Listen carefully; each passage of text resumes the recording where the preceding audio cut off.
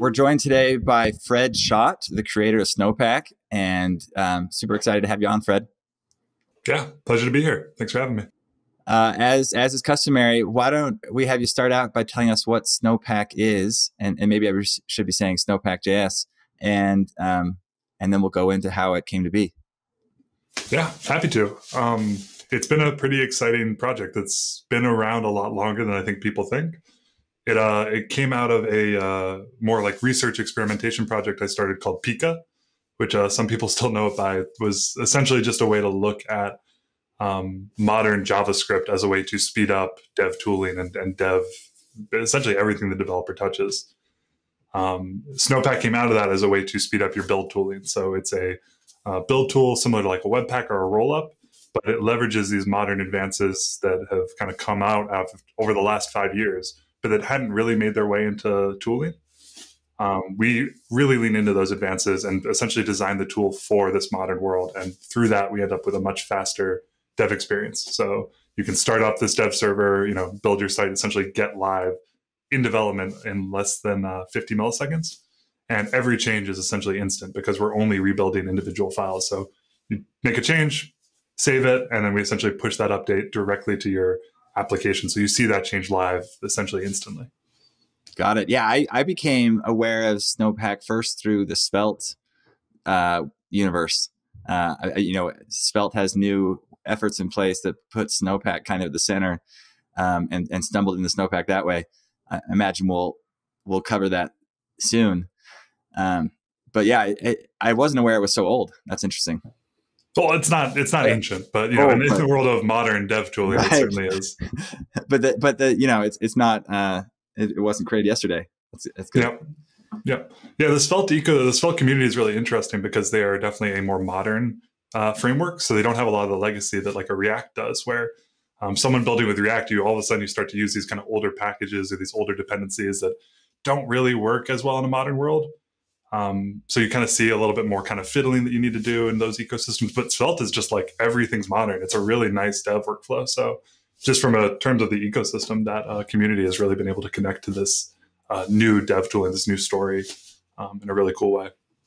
Great. Well, I imagine the Snowpack story maybe is uh, in some ways your story, but take us back to, to uh, Snow Snowpack's beginning and however far back you need to go. Yeah, so back in, I mean, really, really started looking at this back in like 2016, 2017. So um, that's kind of the fun part about this project is that we're using like what is modern technology, but it's not, it's stuff that actually has been like really kind of ironed out even earlier than that. So, you know, back in 2015 and even earlier, there was this idea of uh, standardizing a module format in JavaScript. So like a way for the browser itself to actually like, okay, I'm loading this file and okay, this file depends on this file and that depends on this, like a, a native way to kind of load a full application um, without any sort of, you know, extra tooling needed, all native. Um, that was an idea that kind of got ironed out and then standardized and finalized around 2015. Um, so it kind of, and everything in the browser takes a while to kind of work its way into the ecosystem. So over those first few years, it was in modern browsers, but most users weren't on those modern browsers. So you kind of ended up with like, you can use it sometimes, but like your users can't. So we've for the last five years been in a way of like you build this way, but then you have to do all this tooling to like handle it for everyone else, uh, like that backwards compatibility. But I was lucky to be working at Google at the time on a, a project called Polymer that was very, very future looking. So it was within the Chrome team. Um, essentially, was a way to look at web components, but we also spent a lot of time thinking about tooling and dev tooling as well, and and ESM, um, this this new native way to load code um, in the browser. So through that, I got experience with this this new format and this new system. Um, I I ended up leaving Google around 2016, 2017, and uh, went to go work at a company called Ripple. And through there, then kind of got to revisit these technologies now, like from the outside looking in. So Pika as an experimentation really came out of that, and that was this idea of like let's just look at this technology and and run some experiments. Let's let's try new things. Um, so we'd worked on a code editor for a while. Um, uh, Snowpack came out of this project called Pika Web, um, which was a way to work with these packages. Um, there was a, a, search catalog. There was all these kind of cool, interesting experiments that have like through the years, some of them have kind of gone away, and some of them have become what is now Snowpack and uh, the company I started last year, which is Skypack, which is a way to essentially load um, load code from a, a, global CDN. Yeah, that was what kind of brought me to Snowpack was that the early experience with the technology, and then the realization that there was a missing part of that technology. Just it was out, it had lived for a few years out in the world, but no one was really taking advantage of it. Um, that we could build better tooling by just leveraging something that was, you know, by 2018 actually had kind of lived out in the world for a, a while now. So I have to admit, I you know I'm familiar from the developer experience, uh, in, you know npm installing things and and having a whole bunch of stuff in my node modules. Uh, but what you're talking about is at runtime when when the user downloads, uh, uh, you know, pulls up a website, a bunch of JavaScript gets downloaded. Help me understand further how how Snowpack is changing things. It's taken us a while to get to what you're describing is essentially what we just released. So it's this kind of our next stance on what the future of web development looks like, which is the idea of instead of having a lot of stuff that you run locally, just as you're developing, Snowpack can kind of fetch the code that you want um, that you might be depending on and kind of do that live and invisibly so you don't need to worry about a big node modules folder or a lot of tooling that you need to work on on top of what you're just trying to build for your application. Trying to make it invisible and really seamless and on demand is the goal. Okay so so the the, original or, or kind of early versions of snowpack addressed runtime and you're saying this newest version also kind of pulls in some of that magic to the to the development time yeah, we've kind of worked our way up to this exactly. So the early stuff was just taking a look at um, as the Webpack or Rollup or Create React App or even Next.js, like all of these other tools follow this model where as you're building, a lot of tooling is like essentially bundling and processing your entire application and shipping it to the browser, which means that like as your project grows and grows, those tools are having to do more and more work. It doesn't actually scale well into a big project. It's more and more upfront work. Um, so splitting that up and and and focusing on individual files versus entire applications, that was kind of the first vision for Snowpack as a dev tool. This idea that you don't need to do all this processing and bundling. You can just kind of work on individual files, build individual files, and ship those to the browser. And and that way it scales really nicely. It, it gets that fast startup time on small projects and large projects because you're only ever building what gets loaded. So if you have a thousand pages on your website, you're still only building the one that you just loaded in development. Um, so it's really efficient that way. This new version three of Snowpack takes that same kind of idea where it's if you're not actually going to load a package, um, some dependency, why are you doing this upfront work to get those all prepared and ready to go? Why not just pull it in on demand? Um, and at that point, then why are you even running npm install at all? Why not just let Snowpack pull it in on demand? So we, by leveraging the the CDN that we've built called Skypack, um, you can essentially get any package as pre-bundled, pre-built, ready to go JavaScript. So that whole like folder that's within your node modules and all of its dependencies are just turned into JavaScript. And that's at the end of the day, what we've always really wanted in the front end application is just give me JavaScript that I can send to a user. So it gets rid of all this indirection to just give you, you know, for React, here's a react.js, here is React fetched from our CDN and then running in your application almost instantly. So you're really stealing Apple's business. I no longer need a terabyte, two terabyte hard drive to to, de- to do front end development. if we're stealing from anyone, it's just like the way we did web development, like way back in the day, which is this idea of like actual scripts. And because there was no tooling around, it, you had to like you had a hundred different you know script tags that would get loaded, and maybe you added some structure to that in the loader, but we're really just like you know the idea that React is actually a React.js, like a JavaScript file, is a really old idea that we just kind of reconfigured for today. Yep. Awesome. And is yeah, this a, no new this, ideas in the world? Just constantly reinventing old ones.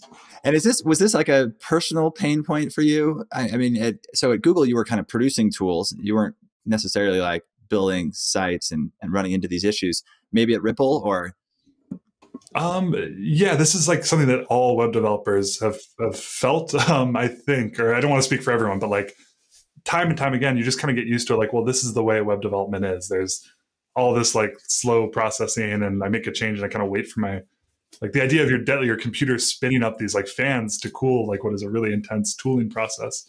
Um, I think combining that with the knowledge like that hasn't always been the way it's been. Um, having worked on projects even before Webpack was a thing, like you had this really snappy, everything's a JavaScript file, so there is no work to be done. It just gets sent to the browser. So it was kind of like we had this really fast dev experience.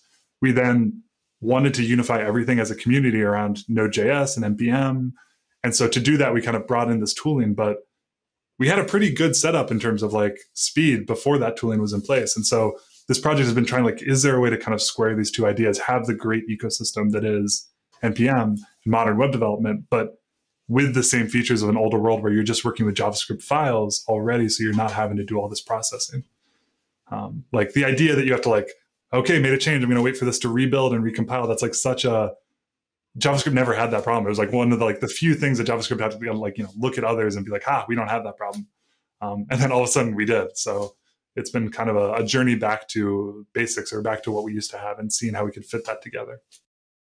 And and now tell us how how the kind of rollout or adoption has gone. You've been doing this for a few years. Um, uh, Skypack for I think it was last year you mentioned. How has this kind of started getting traction? Where are the communities where it sticks?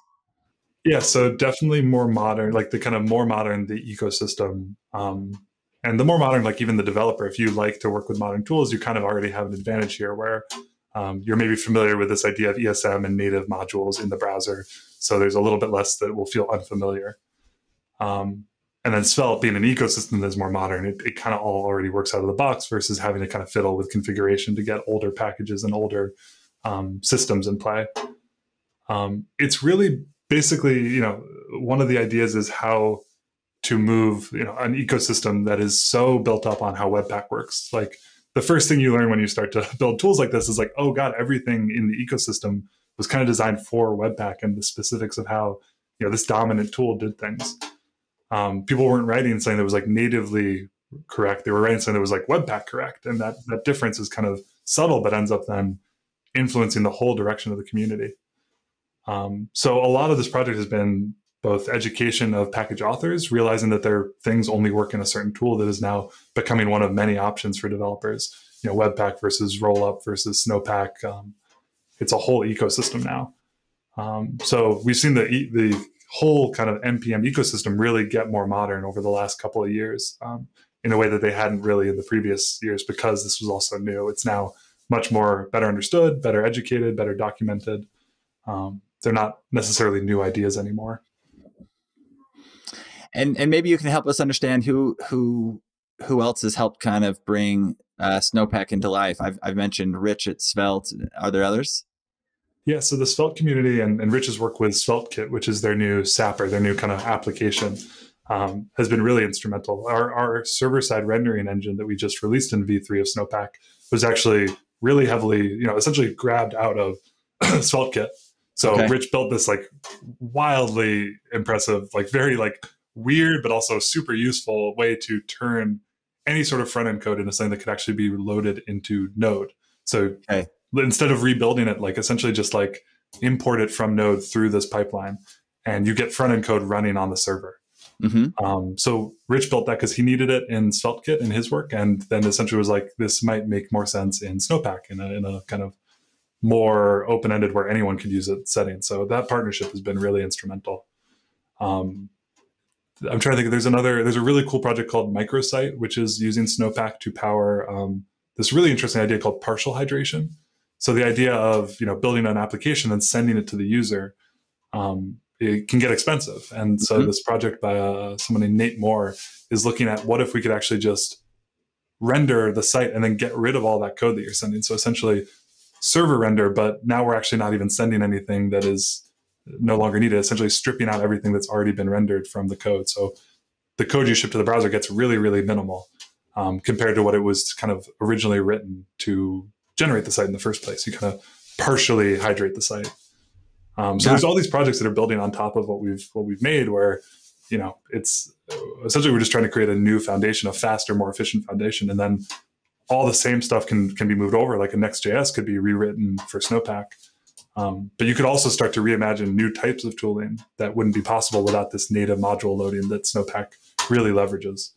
So yeah, it's the, the, analogy I use is like it's like the ninth inning of this Webpack story. There's like a really mature tooling ecosystem around it. Yeah and snowpack and these ideas of esm were like first inning like there is so much greenfield so much stuff that can be built out as we explore and learn kind of what's new and what's possible yeah so maybe take us to you know the beginning of releasing snowpack you you push this thing out into the world and you know maybe there's not uh, consumers on day one, but you've got to go find kind of the riches at Svelte, or maybe they find you and and you find uh, this fellow at Microsite.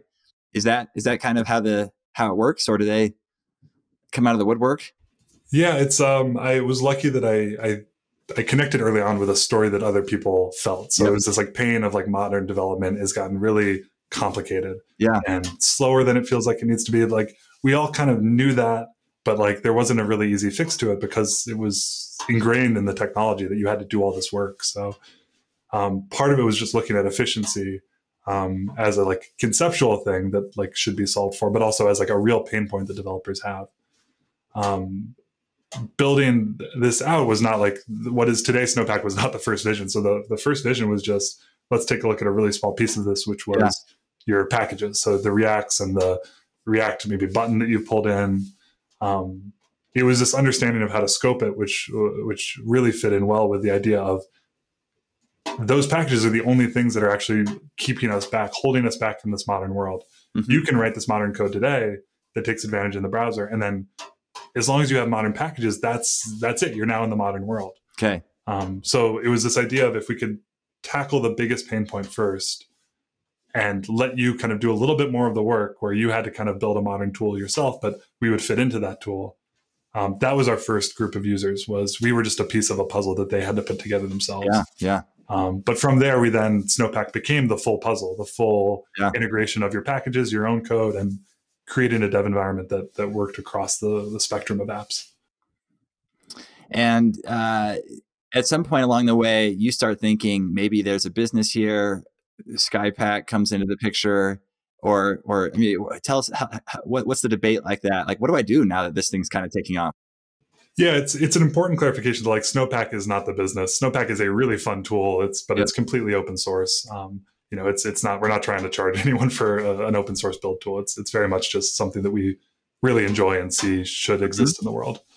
Um, but Skypack was the other side of Pika, which was what does this new ecosystem look like, and and really kind of keeping an open mind of what are the tools, but also what are the services that exist in this new world. Like, what does um, you know the npm of this new ecosystem look like? What does um, you know the Next.js? What does hosting? Like all of these different pieces of a web development puzzle um, we really tried to go into that question open with open eyes. Um, so like the early version of, of Pika, originally, I think we were we were really looking at what does like a GitHub for packages look like. Like let's let's yeah. let's you know replace GitHub and everything and like to create a whole new world. Um, it was really ambitious and like really difficult. Yeah. Um, but through that work, we realized, well, really, it's the modern part of this is the access to those packages. That's what needs to be tackled first. Okay. I have a package and it's all these different files, and maybe it was written seven years ago, so it will never run directly in a modern environment. But Pika's CDN was getting a lot of traction as a way to kind of up convert those packages um, in a way that anyone could load from them. So the CDN is a way that you could load any package and get back a single modern file. That was an idea that people really connected to. Um, and both in terms of like, oh, this is cool. I, I, don't even need a build tool at all. I can just in my application import from a URL, and I'm now working on code that will run directly in the browser. Um, so we're still figuring out what that means. I mean, it's a wide open world, but there's clearly a story here that a CDN provides for, which is again, it's an old story. The idea of like jQuery had a CDN back in the day, and yeah. it was just like point of pride to have your own CDN as a project. Yeah. You kind of made it. Um, we're we're seeing how far we can take that idea into the modern world, which is um, running a CDN, providing code, and then trying to connect more and more developers to this more modern way of thinking. Got it. So Snowpack's got its own life as a modern build tool, build tool and in, in, in, the same ecosystem, you found a place for a Skypack to uh, be this CDN to deliver your packages. Yeah, so we're just excited about what people are building with that. As like you know, it's just like we've seen the future; it all fits together. But like, who are the players? What does it look like? What are you building in that world? Is still um, again, it's the first ending of the story. So we're really excited by by the progress we're seeing. Yeah, yeah. One question on this future world. Um, I I hope I don't derail this too much, but Deno is is another uh, like like when we talk about Skypack, um, that lives also kind of in the Deno universe. Um, does Snowpack have have where does Deno and Snowpack begin? Um, do they have complementary place? Yeah, they're they're more similar, I think, um, than at least we all realized as the people building these things. Like Yeah. I, I've only chatted briefly with the people behind that project, but that idea of importing things by URL, that's that's the technical innovation that this module system provides. So they're leveraging that same technology, but for a different use case, which is server side code. So really same spiritual roots. Um, Yep. We share a lot of the same beliefs in how we see JavaScript evolving, but them tackling the server side and us tackling the front end. So you can think of Snowpack as kind of giving you a lot of Deno ideas, but in a more traditional Node uh, front end world. Um, like if you like the things that Deno is doing, you will definitely like Snowpack. Like you can import by URL in Snowpack if you want to. Um, but I think where the real innovation, where these two projects probably collide, maybe down the road less today, is there are people experimenting with front end development in Deno. So the idea of writing a front end application in a way that can run in Deno and in the browser, like it's the same exact code base. Um, I'm blanking on the name of it, but someone is working on a re, uh, Next.js, um, essentially competitor. It's the same, really borrows heavily from what they've done, but for Deno, and because it's all browser native, you're writing code that runs in both places. So it's a really interesting idea that they're taking essentially to the extreme of like, we now have a runtime called Deno, which can run the same code as your browser. How does that change web development? I think that's a really interesting conversation. Yeah, that that that is the the, the kind of node versus uh, browser divide is um, it's an unfortunate situation of our time. Node, it, it's like it's been a very painful journey for Node to even add this modern ESM support. So that idea of import export in your Node.js code, it's, I mean, it's it's a migration of the entire underlying model of how a framework works. So the fact that they've even you know gotten as far as they have is really impressive. Um, but it's going to be a really tough journey for them because it's so much of the ecosystem. Ten years of development is built up, assuming one thing, and now they've they've flipped it. They're doing as much as they can to support both, but at the end of the day, it's it's a really complex problem to solve. So, you know, Deno, I it's it's easy to be the ones that just throw out the old and bring in the new. Like you know, that's essentially what Snowpack has done. But um, Deno definitely gets to benefit from just not having to worry about that legacy in the same way where Node is really really having to be intentional and it's going to be probably a painful journey or at least there's more pain to come in terms of that migration So, uh, you know, kind of advancing the conversation a bit on this show, we have all kinds of open source projects and um, databases, data processing, uh, and and among many of those, governance becomes a big question. You know, you know, are you going to be an Apache or Cloud Native Computing Foundation? But in the front end, that doesn't seem to be um, as big a concern. Maybe help me understand how you how you kind of think about uh, maturing the project, governance, and and maybe help us all understand how the front end works in this uh, question. Yeah, it's it's. I think the front end community and JavaScript community has an interesting relationship with companies and the idea of companies. Like, there's plenty of people who just like bristle at the idea of it, and I think that there's a lot in open source's background where it's like companies have kind of always taken advantage of open source. Like, how much, how many billions of dollars in, in value has been generated by open source companies, um, or sorry, open source projects? Even there, like that's a that's a whole uh, mind shift. Open source projects within a company um, taking that value, getting value out of that, and not giving back to the community. Um, so it's it's definitely it's not a happy relationship, but it's one where there are still the incentives where people open source tooling is is still a great way to get ideas out there. Like if I had had to, um, if I'd had to sell Snowpack in the day one to make money, um, it would have been really tough to get adoption. And I think some projects are doing that today, but it's it's a tougher road to, to climb. You really need to be good at marketing in a way that I certainly was at the, it wasn't at the time. Yeah. Um, and then so you have this weird relationship where companies are getting value, they're not really giving back the way they should. Um, and then plenty of people have experimented successfully with building companies around these open source projects. So you kind of have this weird like the reality is that it's a it's a valuable model, but the reality is also it's one that gets taken advantage of a lot, and maintainers like myself and, and plenty of others get really burnt out as a result. Um, we're trying to do the right thing with this. So Snowpack being a, a separate project, um, we're releasing an open governance uh, document and kind of model that we're going to try and follow. Like really trying to both support the community with the you know the the company side of things as a way to support maintainers, support good work, um, both financially and just kind of with resources, um, whatever that looks like and whatever people need.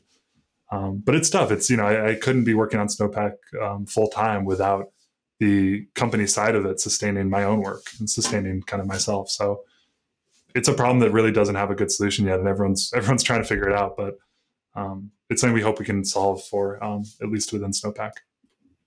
And then take us forward from here. Uh, I, I, think I saw somewhere somebody saying that you know 2021 is like the year of snowpack or something. Maybe maybe I'm just making that up. it was probably me. I'm just like I have my shadow accounts. That's right. Yeah, there were right. bots out there. Fred's uh, I think I saw that as well. Um, yeah, tell us what's what's in store for snowpack in 21, and then uh, maybe I'll just make a plug. Yesterday, uh, as of the day we're recording this, you were on um, uh, speaking with GitHub about the future of the front end development, I believe. And and you know, I imagine Snowpack plays a role in that. But you, you know, feel free to take us beyond 21 if you want as well. Yeah, that was that was a really fun talk. If you if you care about like the future of web development, it was it was less about Snowpack and more like what are these trends that are going to continue into the decade. Um, yeah, I got to touch on a lot. I mean, really, the core concept of of I think how I have understood the last decade is, you know, we have this really nice model which is the single page application. So um, you know, you can think of a something like a create React app or this idea that I'm building a full website. It's HTML, it's CSS, it's JavaScript. I'm the front end developer and I'm building an application. And then I talk to backend services via a like really explicit contract of an API. Mm-hmm. Um, it's this really nice organizational structure, especially within companies where it's like the UI application does this one thing, the backend service does this one thing. There's a really explicit communication, and then you could have multiple UI applications: a desktop app, a mobile app, a website, all sharing the same backend code. Um, it's a really nice model, but it has performance issues, as we've kind of learned towards the later half of the decade, where you're having to ship an entire application to the browser to the user's device um, that they then have to render themselves. So on a low power device or a poor connection, mm, yeah, you end up with you know you're doing a lot of unnecessary work on the device that is low powered by definition. So it's a model that makes a lot of sense for the developer, but it doesn't make as much sense for the user, especially like where did they came from? You know, you the, you come from a world where you're go to a website and it streams down exactly what you should be seeing. So it's not streaming down the code to generate what you should be seeing. It's the older model was a lot more efficient. You just gave the user the code to display. Um, I think that's going to be the big question of this decade, which is what does it mean to build a modern application in a way that is as nice to use as a developer, but is faster for the user.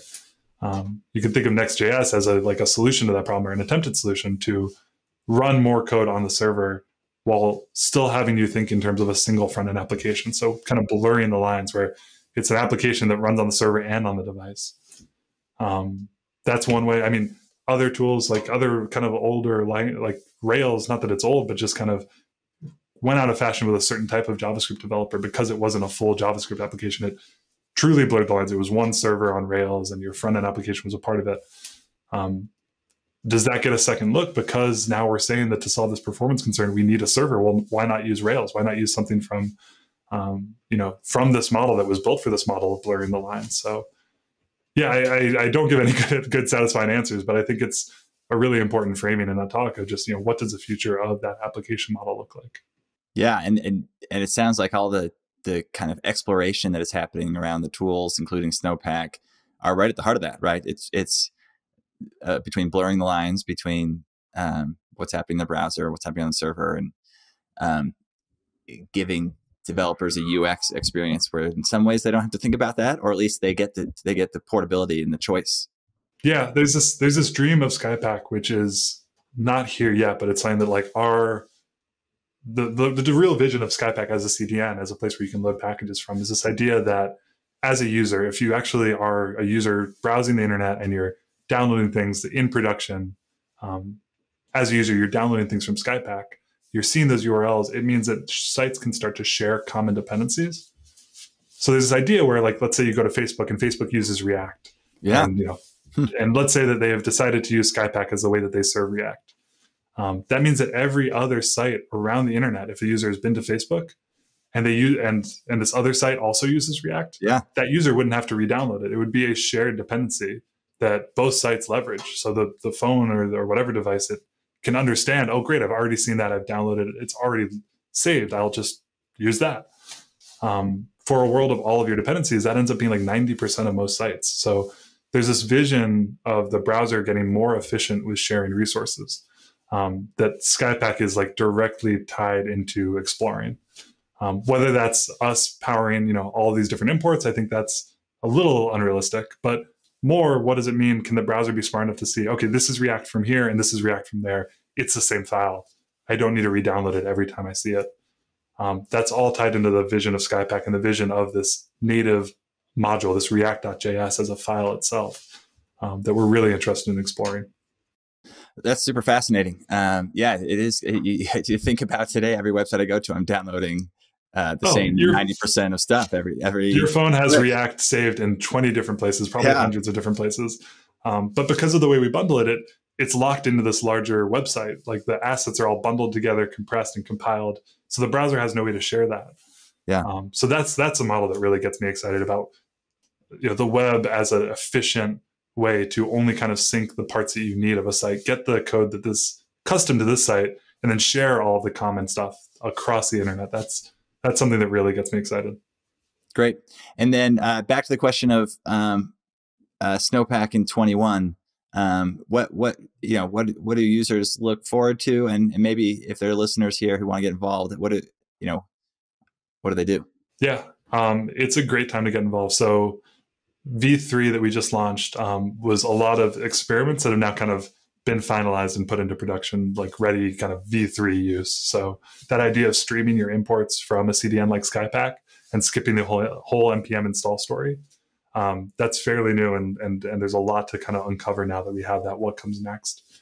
Um, bundling and how we build your site for production uses a brand new um, esbuild bundler. So esbuild is this really cool project. It's written in go. Um, if you haven't had evan from that project on the on the program you should because it's a fascinating look at the other side of this which is that we don't need to change the ideas of what we're building we just need to build them in better ways so it's a native um, compiled code bundler that is essentially like 100 to like 300 times faster than what Webpack is doing and what others are doing.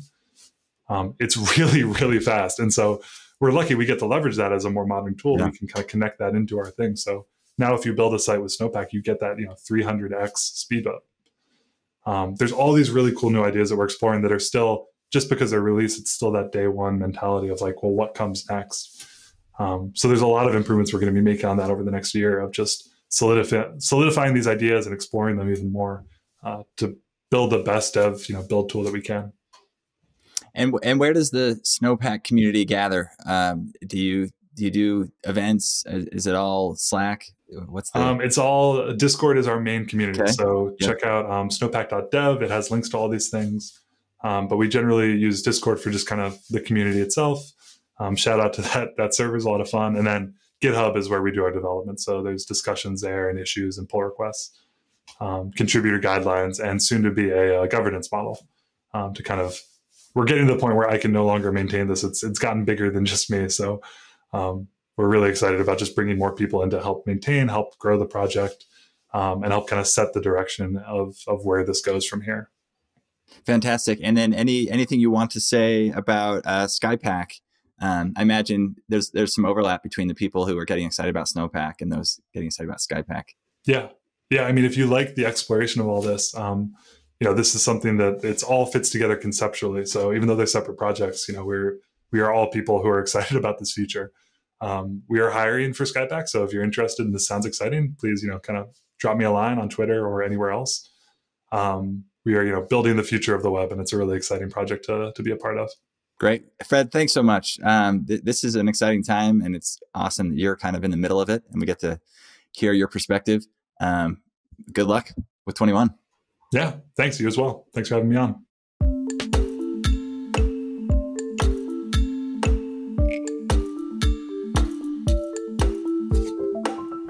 You can find today's show notes and past episodes at contributor.fyi. Until next time, I'm Eric Anderson and this has been Contributor.